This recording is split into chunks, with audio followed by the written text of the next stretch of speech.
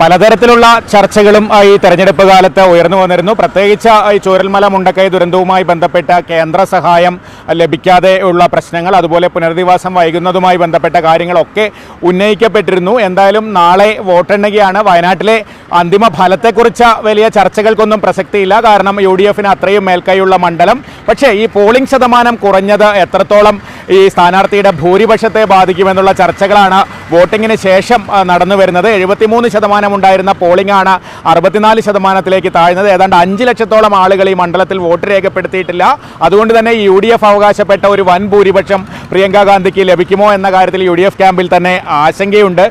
നാളെ ഇപ്പോൾ ഈ എണ്ണുമ്പോൾ ഈ പറഞ്ഞ ഭൂരിപക്ഷം അഞ്ച് ലക്ഷം എന്നൊക്കെയാണ് യു ഡി എഫ് അവകാശപ്പെട്ടത്. എന്തായിരിക്കും നാളത്തെ എന്തായാലും ഇപ്പോൾ പിന്നെ രാഹുൽ ഗാന്ധി ഇവിടുന്ന് ജയിച്ചു പോയല്ലോ. അപ്പോൾ എന്തായാലും രാഹുൽ ഗാന്ധിനെക്കാട്ടും കൂടുതൽ പ്രിയങ്ക ഗാന്ധി കിട്ടും.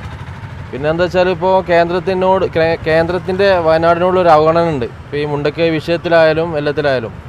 അപ്പോൾ അത് കേന്ദ്രവും പിന്നെ കേരളവും പിന്നെ മൊത്തത്തിലൊരു സഹായക്കുറവാണ് പിന്നെ വയനാട്. അപ്പോൾ എന്തായാലും ഇപ്പോൾ പറയാം ജയിക്കുകയാണെങ്കിൽ ഇപ്പം ഇനി പ്രിയങ്കാന്റെ ജയിക്കുള്ളൂ. അത് വൻ ഭൂരിപക്ഷത്തിൽ തന്നെ ജയിക്കും ചെയ്യും. ഒമ്പതര ലക്ഷം വോട്ടേ ചെയ്തിട്ടുള്ളൂ. അതിന്റെ ഒരു ബുദ്ധിമുട്ടുണ്ടാവുമോ എന്തായാലും പോളിംഗ് കുറച്ച് കുറവായിരുന്നു. എങ്കിൽ പോലും പിന്നെ പ്രിയങ്ക ഗാന്ധി തന്നെ വൻ ഭൂരിപക്ഷത്തോട് ജയിക്കുള്ളൂ ഇപ്പോൾ നാളെ വോട്ട് എണ്ണുമ്പോൾ ഭൂരിപക്ഷം കുറയോ കൂടുമോ കൂടാൻ ചാൻസ് ഉണ്ട്. പക്ഷേ എനിക്ക് എന്താ പറയുക എന്തായാലും നമ്മൾ ലോക്കൽ എന്തായാലും ഓടേണ്ടി വരും. ലോക്കൽ തന്നെ ആയിരിക്കും.